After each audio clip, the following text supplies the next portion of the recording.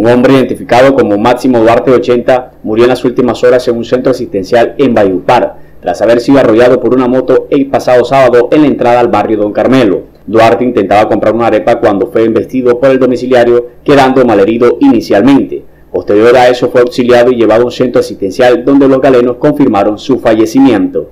El cadáver fue llevado a la morgue del Instituto de Ciencias Forenses de Medicina Legal para la necropsia de rigor.